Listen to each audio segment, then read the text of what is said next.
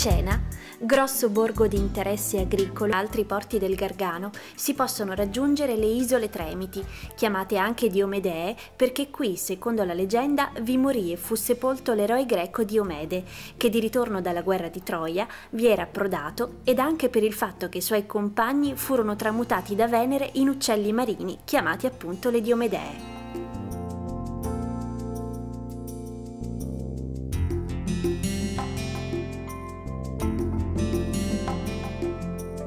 Le vicende storiche più interessanti di queste isole sono però collegate all'abbazia di San Nicola, che imponente si erge sull'isola omonima.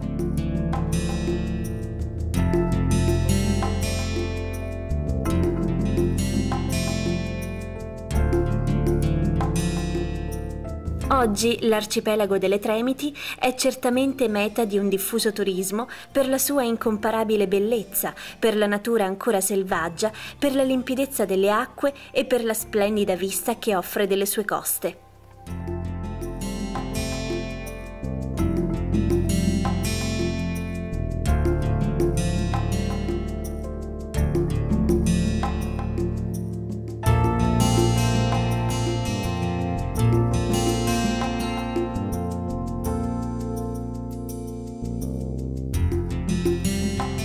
San Severo è un grande popoloso centro situato a nord di Foggia, lungo la strada dove si estendono i campi di grano del Tavoliere, i vigneti e gli uliveti cosparsi di masserie. I suoi stabilimenti vinicoli sono certamente tra i più grandi ed importanti della Puglia. Oltre alla degustazione dei suoi più famosi vini, i turisti possono ammirare le bellissime opere d'arte che fanno parte della storia di San Severo, le chiese con i loro tesori architettonici, l'elegante palazzo di città, il teatro, i bei giardini pubblici, il vecchio ospedale Teresa Masselli Mascia ed il più nuovo e modernissimo ospedale. San Severo è il comune più importante dell'azienda USL Foggia 1, in quanto sede della direzione generale.